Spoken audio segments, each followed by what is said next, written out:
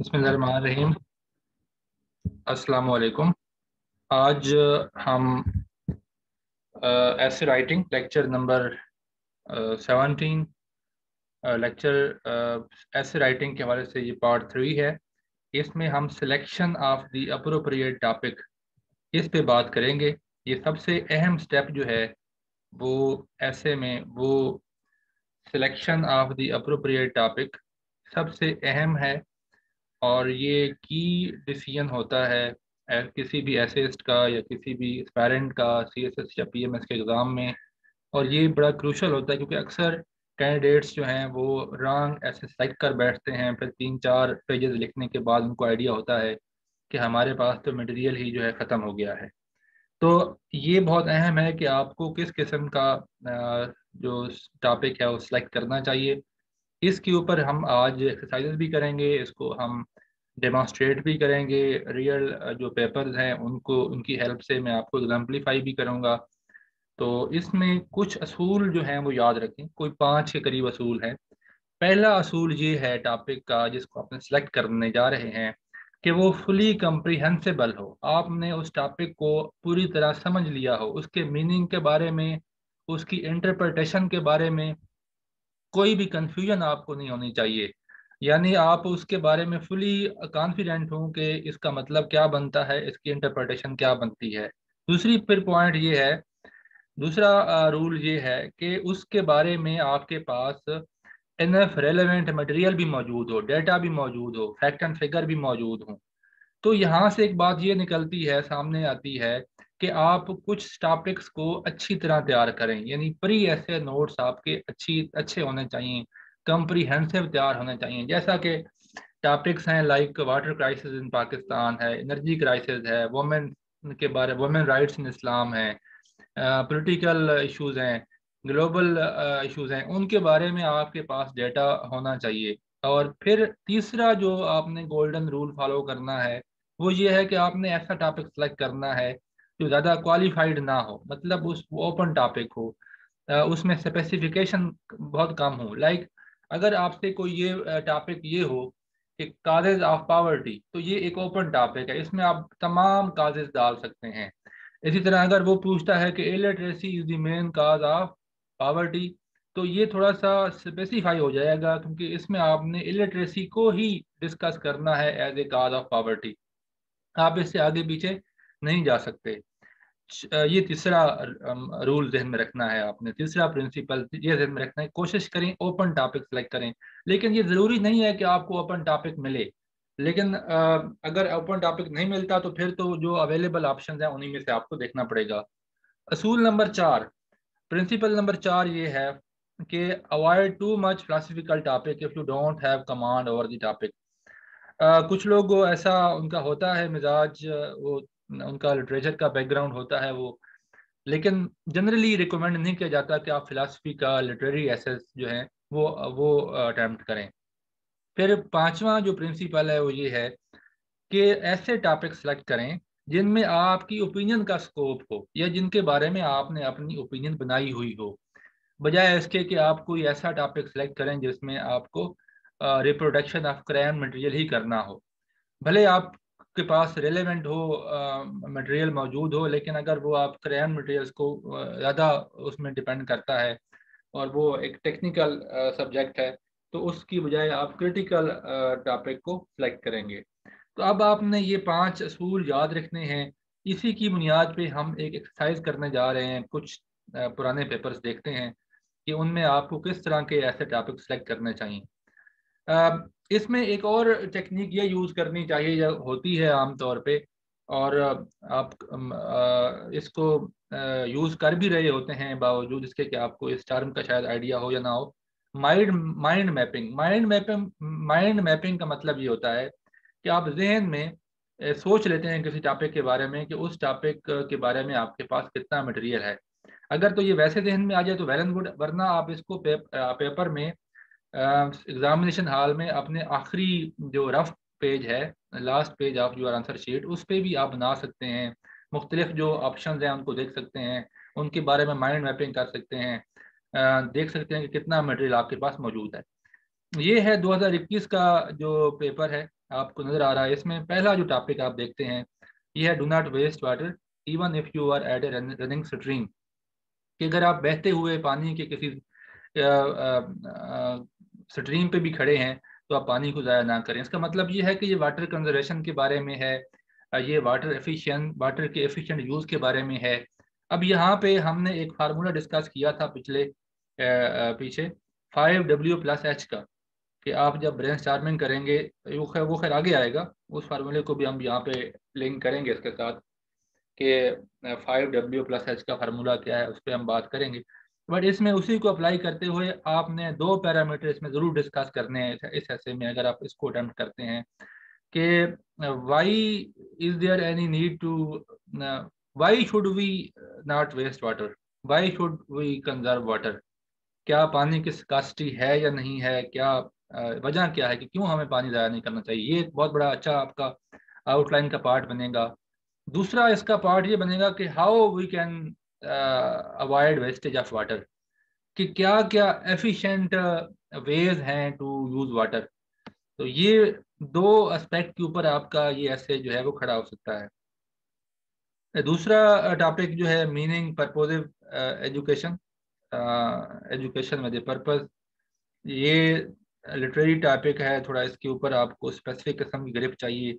इससे जो topic number one है, वो कंपेरेटिवली बेहतर है। टॉपिक नंबर थ्री देखेंगे तो यह COVID nineteen a wake up call for Pakistani researchers अब ये ज़रा गौर करें कि ये जो टॉपिक है, इस पे आपने कोविड नाइनटीन की ना तो कागज़ डिस्कस करनी है, ना उनके इफेक्ट्स लिखने हैं, ना आपने ये डेटा देना है कि कितने लोग मरे बल्कि ये आपने डेटा ये ज़ाहिर करना है कि कैसे, किस वजह से ये एक वेकअप कॉल है फॉर पाकिस्तानी रिसर्चर्स क्यों है ये वेकअप कॉल आप आप जो डेटा देंगे वो इसी से लिंक करके देंगे, चाहे जो भी ये बताएँगे कि कितने लोग जो हैं वो पाकिस्तान में इसका मोर्टेलिटी रेट इतना है, कितने लोग इसमें जामबक हो चुके हैं इस बीमारी से तो इसी के साथ लिंक करेंगे, लेकिन ये टॉपिक में भी मेरा नहीं ख्याल कि कोई बहुत ज़्यादा स्कोप है। टॉपिक नंबर फोर जो है, ये आप देख सकते हैं human invention move the society backward ये एक एक यूनिक टॉपिक है कि कौन कौन सी ऐसी इजादात ने, इंसानी सोसाइटी को मतलब बैकवर्ड मूव कराया है लेट से वेपन हैं या और जितने भी न्यूक्लियर वेपन आप इसमें डाल सकते हैं। यूनिवर्सल ह्यूमन इक्वलिटी इज़ जो टॉपिक के जो यूनिवर्सल ह्यूमन इक्वलिटी है, ये मिथ है या ये आइडियलिस्टिक अप्रोच है एक्चुअली ऐसा होता नहीं है। तो ऐसे टॉपिक पे ये आपका एक टेम्परामेंट है तो लिख सकते हैं, वरना ये टॉपिक जो है, अभी तक जो टॉपिक इसमें है टॉपिक नंबर वन ही ज़रा अच्छा है, उसके बारे में डेटा है तो आप उस पर लिख सकते हैं। ब्यूरोक्रेसी डोल ड्राम ब्यूरोक्रेसी के बारे में है। सेवन टॉपिक जो है वो gender equality popular slogan again इस टॉपिक के बारे में आपकी अच्छी खासी मालूम होनी चाहिए। टॉपिक नंबर आठ, जिसको मैं फेवरेट टॉपिक कहूँगा बेहतरीन है लिखने के हवाले से। Pros and cons of globalization open topic भी है। इसमें आप जितने इसके प्रोन्स डाल सकते हैं, आप जैसे ये प्रिंसिपल नंबर जो मैंने बताया three possibly an open topic with less specification तो ये टॉपिक वो टॉपिक है जिसके अंदर स्पेसिफिकेशन कम है। यानी ग्लोबलाइजेशन के तमाम पॉजिटिव डाल सकते हैं, तमाम नेगेटिव डाल सकते हैं। और बशर्ते कि आपको ये टॉपिक तैयार होना चाहिए। तो टॉपिक नंबर वन और एट जो हैं, ये मेरे ख्याल से अच्छे टॉपिक थे अटैम्प्ट करने के लिए 2021 में। Uh, intercultural communication is essential to avoid third world war. Intercultural uh, communication की अहमियत के बारे में है। Uh, और टॉपिक नंबर टेन जो है ये एक शैले की पोएम है जिसका एक वर्स है। I fall upon the thorns of life I bleed not recommended जो मेरी अप्रोच है अब ये आप डिस्क्लेमर देता हूँ कि ये मेरे जो व्यूज़ हैं आपके लिए वैलिड मतलब बाइंडिंग नहीं है। आपकी उसमें अपना एक, अगर आपकी तैयारी अच्छी है, आप समझते हैं तो आप अपनी उसमें जजमेंट को ज़रूर कंसिडर करें। लेकिन मेरे एक्सपीरियंस से इसमें टॉपिक नंबर वन और एट टॉपिक नंबर वन जो है water conservation and water efficiency water के एफिशिएंट यूज़ के बारे में है और अच्छा टॉपिक है। और topic number eight open topic होने की वजह से, यानी pros and cons of globalization एक फेवरेट टॉपिक है। ये दो टॉपिक्स जो हैं, इन पे बहुत अच्छा लिखा जा सकता है। 2021 का जैसे था। ये अब देखें थोड़ा सा मैंने एक रफ आउटलाइन बनाई है कि कैसे आप किन किन डायरेक्शन आप, आपकी लाइन ऑफ़ आर्गूमेंट क्या होनी चाहिए। असल चीज़ ये होती है कि ऐसे में आपकी लाइन ऑफ़ आर्गूमेंट क्या है। तो ये जो ऐसे है, इसमें थोड़ा सा मैंने कोशिश किया do not waste water even if you are if you were at a running stream इसमें एफिशिएंट यूज़ ऑफ़ वाटर के बारे में ऐसे है। Why we should not waste water इसमें एक बुक है जिसका मैंने पहले भी ज़िक्र किया आपने अपने लेक्चर नंबर गालबन फोर्टीन में जो water conflict between Afghanistan and Pakistan के बारे में था। तो उसमें एक बुक का, का ज़िक्र आया था कि water the for wealth power and civilization ये स्टेफन सोलोमान ने लिखी थी जर्नलिस्ट थे। तो इसने इसमें तीन चार बड़ी अहम बातें की थी कि दुनिया में पानी बहुत कम रह गया है या कम होता जा रहा है। वर्ल्ड वाटर यूज़ बहुत बड़ा है आबादी से डबल बड़ा है। और फ्रेश वाटर जो रिजर्वायर्स हैं दुनिया में बहुत कम है तो इसलिए हमें पानी को एहतियात से यूज़ करना चाहिए। तो ये इस बुक का रेफरेंस अगर आप देंगे तो ये बहुत अच्छा है। इसमें डाटा भी मौजूद है कि दुनिया में पानी जो है, उसमें लिखा था कि साउथ एशिया में इक्कीस फ़ीसद आबादी रहती है twenty one percent of the global world population और ग्लोबल फ्रेश वाटर का सिर्फ़ आठ परसेंट ज़ख़ीरा जो है, वो साउथ एशिया में मौजूद है। तो ये बड़ी अच्छी बुक थी, इस ऐसे में वो बड़ी बेहतरीन तरीके से फिट हो सकती है। फिर ग्लोबल वार्मिंग का जो इम्पैक्ट है on global global water resources उसको इसमें डिस्कस किया जा सकता है कि अब चूँकि ग्लोबल वार्मिंग है ग्लोबल वार्मिंग से होता क्या है कि जो ग्लेशियर्स हैं, वो पिघलते हैं और वो जब पिघलते हैं, बहुत ज़्यादा पानी आता है और बहुत ज़्यादा पानी आने की वजह से हमारे पास आगे जो इतनी वाटर स्टोरेज फैसिलिटीज़ नहीं है डैम्स नहीं है। उसकी वजह से वो या तो फ्लड बन जाता है और या फिर वो सारा पानी जो है वो आगे दरियाओं में चला जाता है, समंदर की तरफ़। तो यानी वो एक लिहाज से ज़ाया स्केप हो जाता है। अब दूसरी सिचुएशन ये होती है कि ग्लोबल वार्मिंग का दूसरा पॉइंट ये है कि जब वो गर्मियों में तो सारा बर्फ़ पिघल गई। अब सर्दियों में या उस साल के दीगर हिस्सों में शदीद किस्म का ड्राट्स होता है, क्योंकि वेदर पैटर्न चेंज हो जाते हैं कहत साली होती है। ये भी ग्लोबल वार्मिंग का ही एक इम्पैक्ट एक कॉन्सिक्वेंस है। Droughts and floods unexpected droughts and floods are the result of global warming ये चीज़ आपने याद रखनी है। तो कहत और जो सैलाब हैं, उससे भी दुनिया का जो वाटर बैलेंस है, वो ख़राब हो चुका है और इस वजह से भी पानी को कंजर्व करने की ज़रूरत है। फिर रिप्रिकशन क्या हैं? वाटर स्कास्टी के ये मैंने बता दिया ड्रॉट्स है इम्पैक्ट ऑन एग्रीकल्चर है livestock and livelihood of human beings यानी पानी आप समझ लें कि आपकी लाइफ की बुनियाद है फाउंडेशन ऑफ़ लाइफ पानी पे खड़ी होती है। तो एग्रीकल्चर इसी पे डिपेंडेंट है आप पानी पीने के लिए इस्तेमाल करते हैं एग्रीकल्चर है लाइफ स्टॉक है आपका इंडस्ट्री है क्योंकि इंडस्ट्री जो है वो डिपेंडेंट है एग्रीकल्चर के पे, फिर इसी तरह लाइवलीहुड जो है इंसानों की वो भी तमाम इसी पे डिपेंडेंट होती है। तो मुख्तर ये कि पानी के बगैर जो आपकी लाइफ है life on earth plan that would be impossible फिर इसको कैसे रिवर्स किया जाए? इसमें आपको सजेशन डाल सकते हैं कि how we can reverse the pattern तो ग्लोबल वार्मिंग को आप कैसे रिवर्स कर सकते हैं? सबसे पहले तो आप रिन्यूएबल एनर्जी सोर्सेज को यूज़ करें। ट्रेडिशनल सोर्सेज ऑफ़ एनर्जी से शिफ्ट लें और इन्वायरमेंटल uh, पॉल्यूशन को डिक्रीज करने के लिए स्टेप्स जितने भी हैं वो यहाँ पे आ जाएँगे। More and more plants tree जो है, उनको प्लांट्स करें ट्रीज को प्लांट करें डैम्स उन्हें वाटर स्टोरेज फैसिलिटीज़ कायम करें efficient ways to use water पानी के इस्तेमाल करने के एफिशिएंट तरीके निकालें, जैसा कि ड्रिप इरीगेशन है स्प्रिंकलर सिस्टम हैं, और वो इंडस्ट्री जैसे जो पानी की मिनरल वाटर्स की जो फैक्ट्रीज हैं, इनको टैक्स करना चाहिए, ये पानी यूज़ करके सारा पानी जो बेचती हैं या और प्लांट्स हैं वाटर ट्रीटमेंट प्लांट्स इनको भी टैक्स करना चाहिए। अब ये टॉपिक जो है, ये 2020 का ऐसे है। इसमें 2020 का जो पहला टॉपिक है do we really need literature in our life अच्छा लिटरेचर का अगर आप डेफिनेशन देखेंगे तो लिटरेचर का मतलब होता है, हर वो चीज़ जो लिखी गई है in the form of words है। यानी आप लिटरेचर को उस लिटरेचर के मीनिंग में ना लें जो कि हम कहते हैं कि फ़लाँ, एम इंग्लिश लिटरेचर है या इंग्लिश लिटरेचर उर्दू लिटरेचर उससे हट के हर वो चीज़, हर नॉलेज हर नॉलेज की हर ब्रांच लिटरेचर कहलाती है।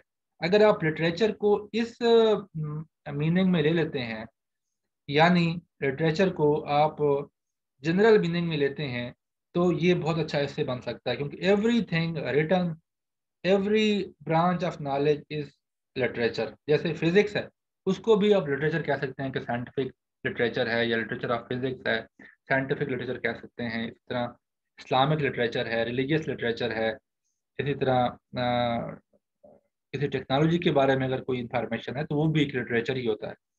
तो इसको अगर आप ब्रॉडर एस्पेक्ट में देखते हैं तो वो भी आपका एक ऐसे अच्छा ये डेवलप हो सकता है। Women universities as agents of change Pakistan and the future of Kashmir का, जिसमें आपको पूरा ग्रेप होनी चाहिए पाकिस्तान और हिस्ट्री ऑफ़ कश्मीर का पे और फ्यूचर फ्यूचर के बारे में आपकी एक विजन होनी चाहिए कि क्या फ्यूचर होने जा रहा है और पाकिस्तान का इसमें क्या रोल होगा। फिर polarize politics the issues and challenges of democracy in Pakistan. ये एक असिस्टेंट प्रोफेसर हैं, गलबन लेक्चरर हैं आई थिंक यूनिवर्सिटी की नसरीन अख्तर साहबा। उनका ये एक आर्टिकल था, एक उनका रिसर्च पेपर है 2009 में छपा। और ये अभी if I am not wrong ये 2009 का ही उनका पेपर है, जो कि जिसके ऊपर बिल्कुल उसका हो यही टॉपिक है, और यही टॉपिक जो है वो 2020 के ऐसे में आ गया है। इस, ये भी मौजूद है अवेलेबल है नेट पे। Global power dynamics and Pakistan foreign policy ये आप अटेम्प्ट कर सकते हैं, अगर आपको ग्लोबल पावर में ज़्यादा इंटरेस्ट है और उनकी जो ग्लोबल पावर की पॉलिटिक्स है उसमें आप का पास इंफॉर्मेशन या डेटा ज़्यादा है। Pakistan informal economy the way forward अगर आपकी इकानमी पे इंटरेस्ट है तो ये टॉपिक अटैम्प्ट किया जा सकता है। पाकिस्तान इनफार्मल इकानमी के बाद promoting tourism in Pakistan opportunities and challenges ये बहुत अच्छा टॉपिक है ओपन टॉपिक है और इसमें स्पेसिफिकेशन कम है, इसको अटैम्प्ट किया जा सकता है। Rather I would say it's very good topic to attempt इसमें आप ये चीज़ ध्यान में रखें कि अपॉर्चुनिटी से मुराद अपॉर्चुनिटी से मुराद आप ये लें कि पाकिस्तान में टूरिज़्म की कौन सी अपॉर्चुनिटीज़ हैं? जैसा कि रिलीजियस टूरिज़्म है सीनिक ब्यूटी के हिसाब से टूरिज़्म है आर्कियोलॉजिकल साइट्स हैं, ये आप अपॉर्चुनिटीज़ में काउंट करेंगे। चैलेंजेस क्या क्या हैं? चैलेंजेस इसमें यही हैं कि हमारे पास रोड इंफ्रास्ट्रक्चर नहीं है, हमारे पास फैसिलिटीज़ नहीं है, हमारे पास इवन रास्तों के ऊपर जब जाते हैं तो वाशरूम्स और होटल्स अच्छे नहीं हैं। और फिर जहाँ जहाँ जो साइट्स हैं टूरिस्ट साइट्स हैं, वहाँ पे हमारे पास अच्छे रेस्टोरेंट्स नहीं हैं। इंफ्रास्ट्रक्चर हमारा वो है वीक है। फिर सिक्योरिटी इश्यूज़ हैं। आपको याद होगा कि नांगा पर्वत पे और इस साइड पे हमारे बहुत सारे फॉरेन टूरिस्ट जो हैं, वो किसी दहशत गर्दाना हमले में उनकी उनकी जाने गई थी और उसके बाद हमारी हमारी टूरिज़्म को बहुत ज़्यादा नुकसान पहुँचा था। तो वो एक बहुत बड़ा चैलेंज है to improve the security situation और अलहमदिल्ला अभी तो इम्प्रूव हो चुकी है। पाकिस्तान में because of the sacrifice of the arm forces and police चीज़ें काफ़ी बेहतर हो गई हैं। ये आखिर में कोटेशन है, जिसके बारे में कोई दो तीन आथर्स के आथर से ये एट्रीब्यूट की जाती है। कुछ लोग कहते हैं कि ये वोल्टायर की कोटेशन है फ्रीडम ऑफ़ एक्सप्रेशन के बारे में है, और कुछ कहते हैं कि ये किसी और आथर के बारे में है, कि दोनों के आपस में इसमें कंफ्यूजन है। I don't agree with what you have to say but I will defend to the your right to say ये एक टॉपिक है बट ये कोटेशन अक्सर ये आती रहती है। अभी भी हम देखेंगे ये तीन चार साल पहले भी आई थी। Is Pakistan ready for digital revolution ये डिजिटल बैंकिंग और दैट उसके बारे में है कि अगर आपका इस तरह के टेक्निकल इशू के ऊपर ग्रेप है। I M F bailout road to stability और रेसिपीज़ फॉर डिजास्टर तो I M F I I M F bailouts के बारे में है। तो ये जो टॉपिक्स हैं, इसमें टॉपिक नंबर वन अच्छा है अटेंड किया सकता है मेरे ख्याल में। अगर आप लिटरेचर को ब्रॉड टर्म में लें कि हर वो चीज़ जो नॉलेज की फॉर्म में है, लिखी हुई है, वो लिटरेचर है। और दूसरा जो ये टॉपिक नंबर सेवन है, ये बहुत अच्छे टॉपिक्स हैं टू अटैम्प्ट अब आते हैं हम लेक्चर टू थाउज़ेंड नाइनटीन की तरफ़। नाइनटीन में ये आप देख सकते हैं मुख्तलिफ़ जो ऐसे पड़े पड़े हुए हैं। Let there be more light in the of worship places new war fronts lie in economic zones ये जो चाइना और यूएस की आपस में एक न्यू कोल्ड वार भी आप कह सकते हैं उसके ऊपर है, क्योंकि चाइना का जो स्ट्रेटजी है वो इकोनॉमिक है, वो इकानमी पे फोकस कर रहा है। तो उसी हिसाब से ये एक ऐसे है। अक्सर ऐसे टॉपिक्स जो हैं वो रिसर्च पेपर से आते हैं, बल्कि रिसर्च पेपर्स जो होते हैं, उनके वही टॉपिक्स ऐसे के ही टॉपिक्स बन जाते हैं। Urdu literature and progressive movement art for peace truth is lived not taught new waves of feminism new waves of feminist and our culture ये फेमी वुमेन राइट्स के बारे में या फेमिनिज्म के ऊपर हर साल को एक या दो ऐसे आ जाते हैं। कम अज़ कम एक तो लाजमी आता है। एक्सेप्शन हो सकते हैं, लेकिन मोस्टली ये ऐसे आ जाता है। Democracy and illiteracy don't move together अब ये एक अच्छा अच्छा टॉपिक है, इसके ऊपर दो it's not that much open जिस तरह हमने पहले बात की है। लेकिन अब यहाँ पे हमारे पास ऑप्शन बहुत कम रह गए हैं। जो एक ऐसे को हम कहें कि चूज़ करें तो इसमें सातवां टॉपिक जो है, इसके ऊपर आप लिख सकते हैं। आठवां टॉपिक उसके बाद टॉपिक नंबर नाइन देखें। Expanding IT information technology a curse or blessing तो ये आईटी के बारे में जो आईटी के बारे में ख़ास इंटरेस्ट रखते हैं, वो इसको अटेम्प्ट कर सकते हैं। Classrooms decide the future of the nation ये भी अच्छा टॉपिक है बट इसमें आपको एग्जांपल देनी पड़ेंगी बहुत सारी। अब यहाँ पे मैं एक बात आपको बता दूँ कि आपको प्री एसे नोट्स बनाने चाहिए, बहुत सारे टॉपिक्स के। अब यहाँ से आपने देख लिया कि कौन कौन से टॉपिक्स हैं जिनके ऊपर आपको प्री एसे नोट्स बनाने की ज़रूरत है। अब मैं ये नहीं कहता कि आप हर एक टॉपिक को तैयार करें। इसमें बहुत सारे टॉपिक्स ऐसे हैं जिनको आपने तैयार करने की ज़रूरत नहीं है। जैसा कि अगर आपने ये कभी भी ये अटैम्प्ट नहीं करना उर्दू लिटरेचर के बारे में तो आपको कोई ज़रूरत नहीं है कि इसके बारे में आप बात करें। अब आर्ट फॉर पीस जो टॉपिक नंबर चार पड़ा हुआ है ये भी कोई इतना इम्पोर्टेंट टॉपिक नहीं है कि ये दोबारा रिपीट हो जाए सेंस में। बट इवन देन आपको ये कह सकते हैं ये बड़ा आ, आ, इसका जो आर्ट फॉर पीस है इसकी जो डोमेन थोड़ी लिमिटेड है इस पर लिखना मुश्किल है पच्चीस सौ या दो हज़ार वर्ड का एक ऐसे। तो इसी तरह आप ट्रूथ इज़ लिव्ड नॉट टाट इसको भी स्किप कर सकते हैं। कोटेशन बेस्ड एसेज जो हैं, उनको थोड़ा सा अवॉइड करना चाहिए। क्योंकि मखसूस वो एक फ्रेम ऑफ़ माइंड में होते हैं। और तो हमेशा आपने ओपन एसेस या जो, अब आप देख सकते हैं कि इसमें हमने ऐसे ऐसे सिलेक्ट किए हैं जो करंट अफेयर्स के बारे में हैं जो पॉलिटिकल या जो हालात हाजरा से रिलेट करते हैं आ, उन एसेस को आपने ऑप्ट करना है। और कोशिश करें वो एसेज आप ऑप्ट करें जो आपकी करंट अफेयर्स या आपके ऑप्शनल सब्जेक्ट से रिलेट करते हों। और बस परी ऐसे नोट्स ज़रूर बनाएँ। जैसे वुमेन राइट्स हैं उन उस पर बनाए जा सकते हैं। वो आपके पहले से जनरली आपके पास लिटरेचर पढ़ा हो जैसे agriculture is is the backbone of of our economy है पावर ऑफ़ सोशल मीडिया है पावर ऑफ़ पब्लिक ओपिनियन है। इनकी आउटलाइन आपके पास और डेटा आपके पास होना चाहिए। फिर आप एक और चीज़ देखें कि ज़रूरी नहीं कि आप एक टॉपिक को ऐसे के पॉइंट ऑफ़ व्यू से तैयार करें। आप इसको जनरली भी तैयार कर सकते हैं। जैसा कि ये आईटी के बारे में जो टॉपिक है, ये आपके किसी और सब्जेक्ट में भी आ सकता है पेपर में आ सकता है। ये आपके करंट अफेयर में भी आ सकता है। तो ऐसे के अक्सर जो क्वेश्चन है, ऐसे के अक्सर टॉपिक्स जो हैं, इसी तरह करंट अफेयर के अक्सर टॉपिक्स जो हैं और पाकिस्तान अफेयर के अक्सर टॉपिक्स जो हैं, ये आपस में ओवरलैप करते हैं। ये 2018 का ऐसे देख सकते हैं आप।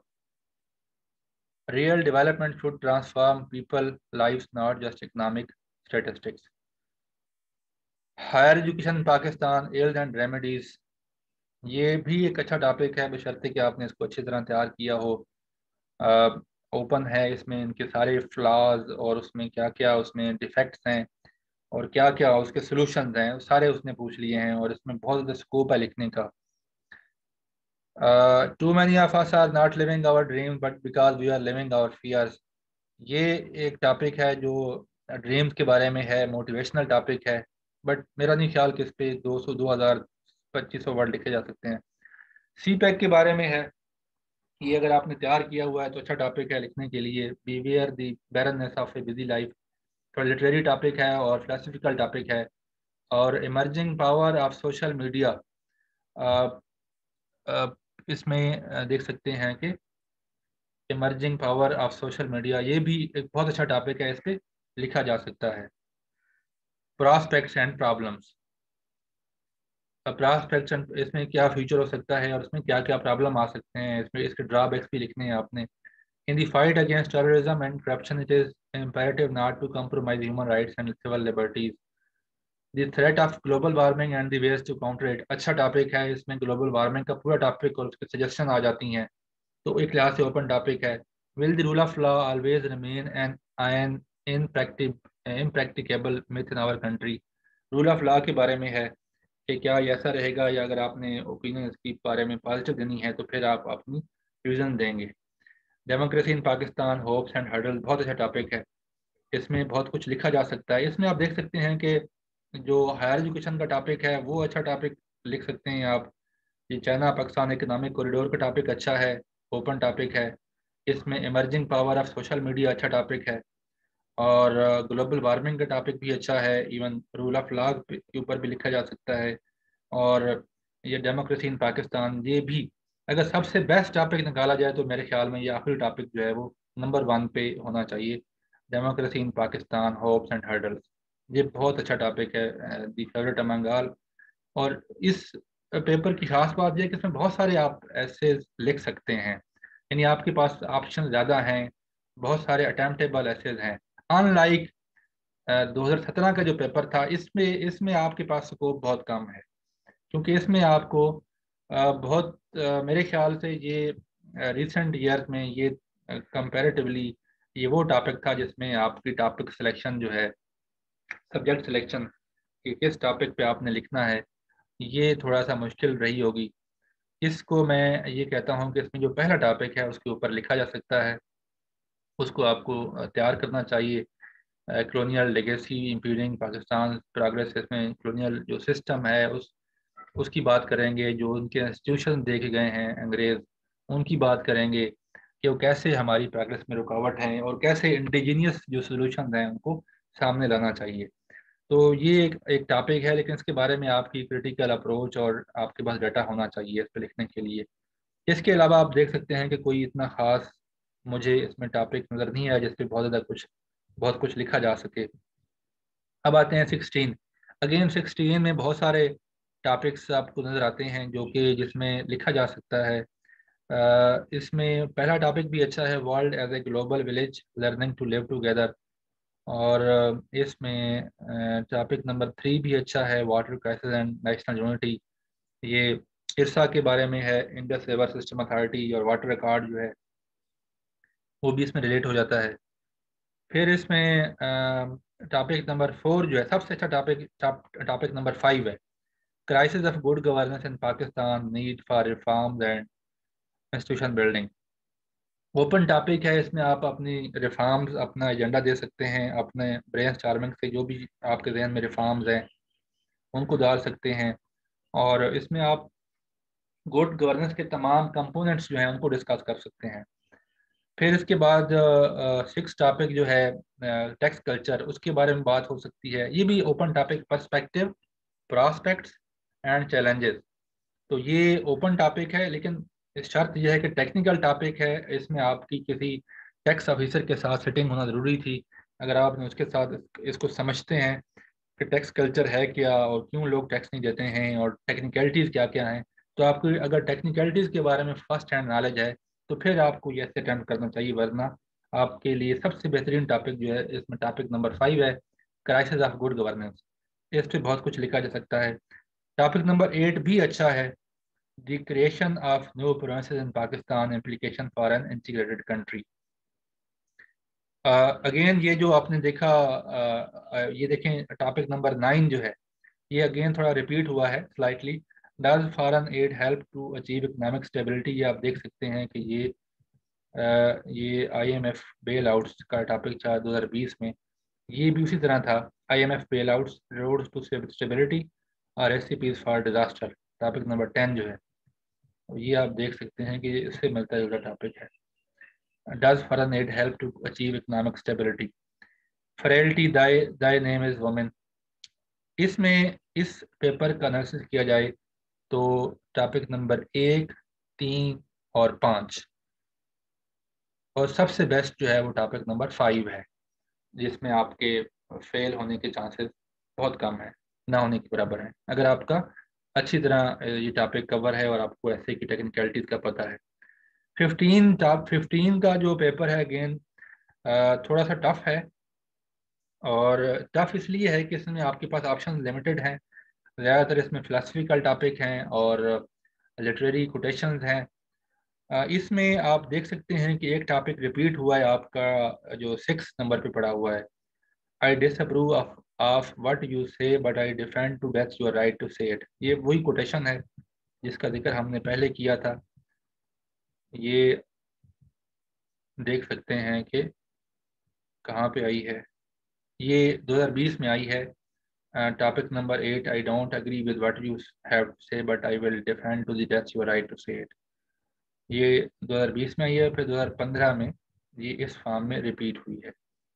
I disapprove of what you say but I will defend to death your right to say it इसमें आप देख सकते हैं कि टॉपिक नंबर एट ये इंटरेस्टिंग है। When life throws you lemonade when life throws you lemons make lemonade ये अब एक प्रॉब्लम्स को अपॉर्चुनिटीज़ में कन्वर्ट करने की बारे में है कि किस तरह आप एग्जांपल देंगे कि कैसे कैसे लाइफ में या दुनिया के जो अजीम लोग थे वो किस तरह हार्श सरकमस्टांसेस को उन्हें कम्पीट करते करते वो अजीम इंसान बने।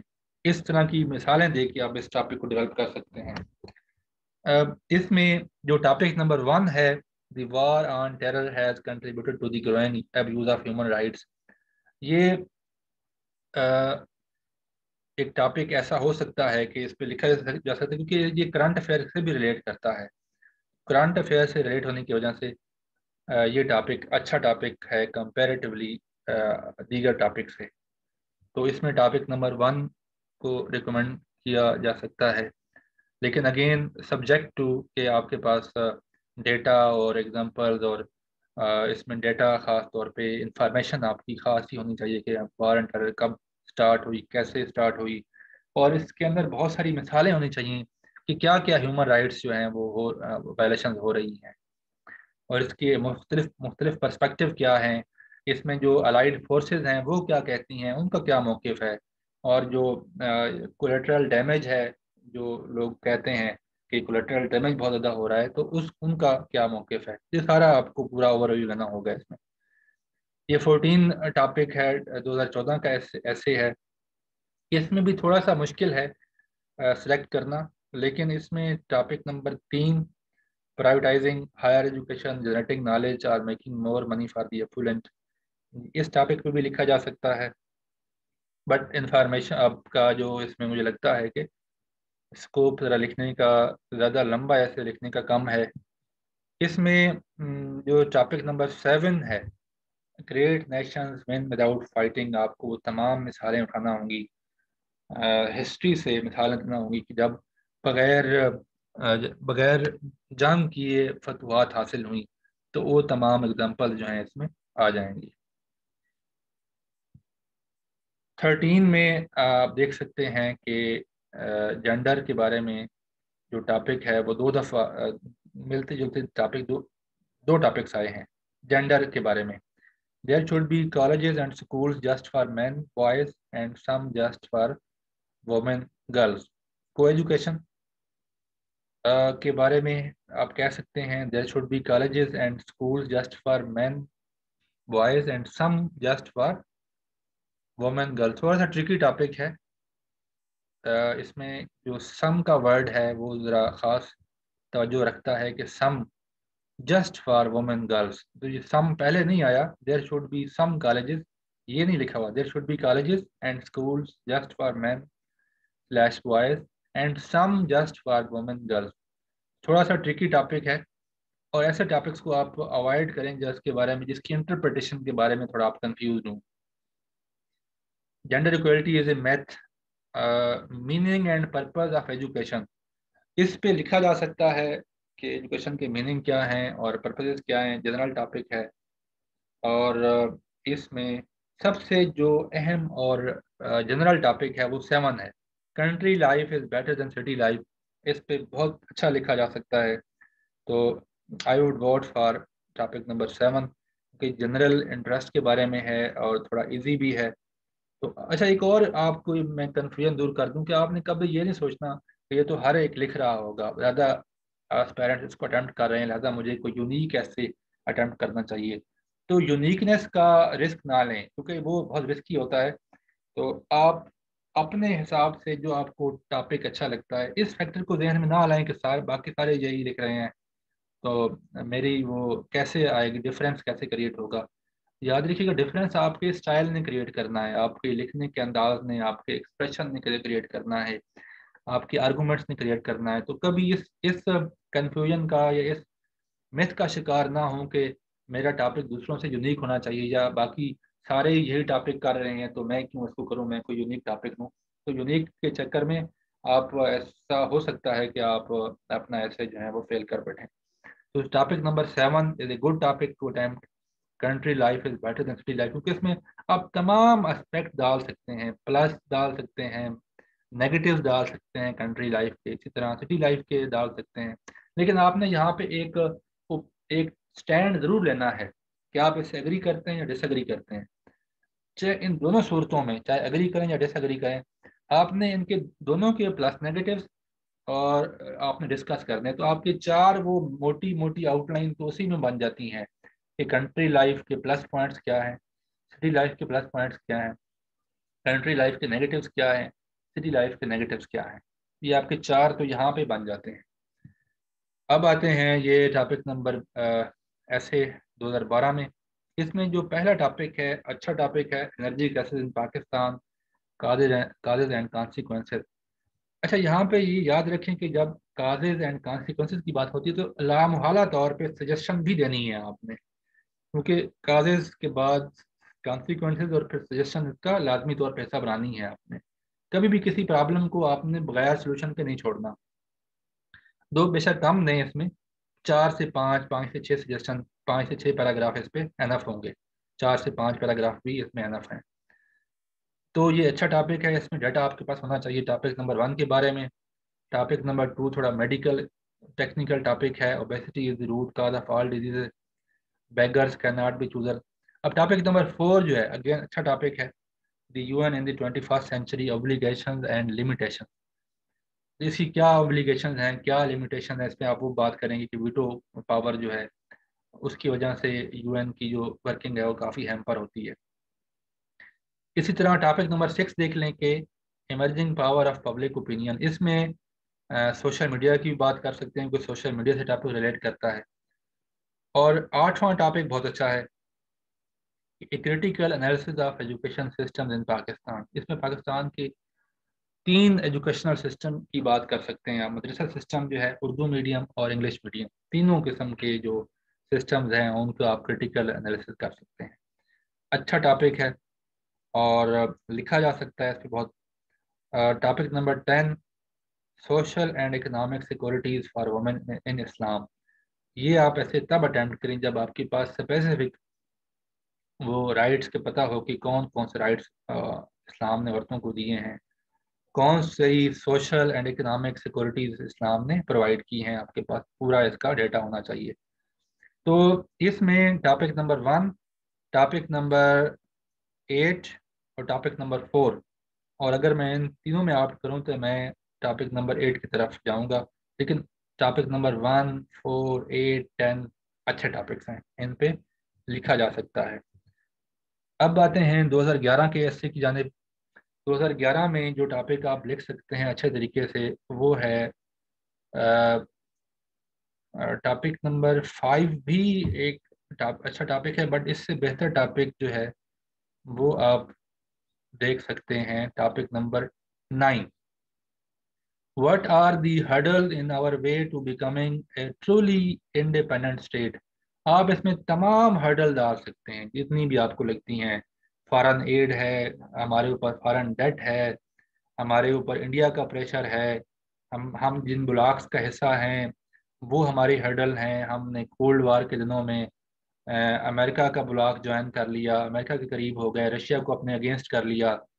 आ, एक हमारा फॉरन पॉलिसी का एक डिफेक्ट था। फिर हमारा जो यू टर्न था आफ्टर नाइन अलेवन तो उस तरह की तमाम आप चीज़ें जो हैं, फिर हमारी जो जोग्राफिकल कंटिग्यूटी है और जो हमारे हमसाया ममालिक के साथ जो रिलेशनशिप एड्रेस्ड किस्म के हैं इंडिया के साथ हैं अफ़गानिस्तान के साथ हैं ईरान के साथ तो ये आप हर्डल कह सकते हैं इनको। यानी ये इस टॉपिक के ऊपर आप बहुत अच्छा अटैम्प्ट कर सकते हैं। और ये सेफ़ टॉपिक रहेगा, क्योंकि इसमें आपके पास काफ़ी सारा स्कोप है डिस्कस करने के लिए, बहुत सारी चीज़ें।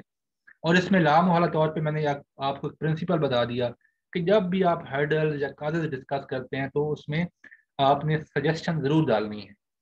तो इसमें टॉपिक नंबर नाइन अच्छा टॉपिक है। Six disaster management and government preparedness ये 2010 में जो सैलाब आए थे उसके बाद ये अलेवन का पेपर हुआ था और उसमें ये आया था उसमें फ्लड्स के हवाले से था। लेकिन चूँकि ये जनरल टॉपिक है तो इसमें आप flood droughts cyclone all kind of disaster अर्थ को डाल सकते हैं। तमाम के हवाले से जो हमारी role of N D M A है नेशनल डिजास्टर मैनेजमेंट अथॉरिटी है P D P D M As हैं प्रोविंशियल डिजास्टर मैनेजमेंट अथॉरिटीज़ हैं, उनकी स्ट्रक्चर्स का, उनके फ़ंक्शन का आपको पता होना चाहिए। इसमें सबसे बेस्ट टॉपिक जो है टॉपिक नंबर नाइन अगेन ये ऐसा टॉपिक है कि जो कम्प्रीहेंसिव कम्प्रीहेंसिबल है आपको समझ आती है क्या पूछा गया है और आप इसमें बहुत कुछ लिख सकते हैं अपनी अंडरस्टैंडिंग के मुताबिक और इसमें सजेशन की एक, एक हेडिंग डाल सकते हैं सजेशन की आउटलाइन बन सकती हैं। तो ये टॉपिक बेहतरीन टॉपिक है। इसमें और भी डिस्कस करने को बहुत कुछ है मसलन आपके लिए अभी ये है कि आप पिछले तमाम जो पेपर्स हैं पास पेपर्स अवेलेबल हैं टेंथ से बिलो उनकी आप एक्सरसाइज करें इसी पैटर्न के ऊपर। और आपने ये प्रिंसिपल जो हैं, ये आपने ज़रूर याद रखने हैं कि ये पाँच से छः प्रिंसिपल्स आपने ज़रूर अप्लाई करने हैं। ये जो प्रिंसिपल्स हैं टॉपिक फुली कम्प्रीहेंसिबल होना चाहिए। रिलेवेंट मटेरियल डेटा आपके पास अच्छा होना चाहिए। ओपन टॉपिक को चूज़ करने की कोशिश करें। फिलासफिकल टॉपिक को अवॉइड करें कोटेशन वाले टॉपिक को अवॉइड करें और क्रिटिकल अप्रोच वाले टॉपिक चुनें। और उसमें एक चीज़ स्ट्रेटजी ऐड कर लें कि पहले एक माइंड मैप बना लें अपने माइंड में या रफ पेज पे, जो कि आप आंसर शीट का आखिरी पेज बना सकते हैं रफ पेज उस पर ज़रूर आपके पास अगर दो तीन ऑप्शन बन रही हैं कि आप दिल कर रहा है कि इस पर भी अटेम्प्ट किया सकता है, इस पर भी। तो माइंड मैपिंग कर लें, वहाँ पे रफ आउटलाइन बना के चेक कर लें अपने अपने नॉलेज को कि किसके बारे में ज़्यादा आप बना सकते हैं तो आपको आइडिया दो तीन मिनट में हो जाएगा। तो इस पैटर्न पे आप 2011 तक तो मैंने आपके साथ अभी एक्सरसाइज कर ली है। यही एक्सरसाइज आपने 2010 से पीछे भी करनी है। और हर साल का एक ऐसे ज़रूर आप चूज़ करें। एक से दो ऐसे या तीन ऐसे चूज़ करें जिनके ऊपर आप मटेरियल इकट्ठा करें। और ये मटेरियल आपका कहीं ना कहीं आपके आने वाले एसेस में जो आप अटैम्प्ट करने जा रहे हैं 2022 में या तेईस में तो उसमें आपका इसको यूज़ कर सकते हैं। आई रिपीट हर साल कोई एक ऐसे उठा के आप आ, उसके ऊपर प्री ऐसे नोट्स बनाएँ उसको तैयार करें। उसके ऊपर, उसको रिसर्च पेपर की तरह तैयार करें। उससे आपके ऐसे की तैयारी जो है हो सकेगी। और इसमें अगर आप तीस, चालीस टॉपिक्स तैयार कर लेते हैं तो आपकी तैयारी ऐसे की अच्छी हो जाती है। इसमें आप कोई लिमिट तो जैसा कि आपको पता है, कोई है, कोई नहीं।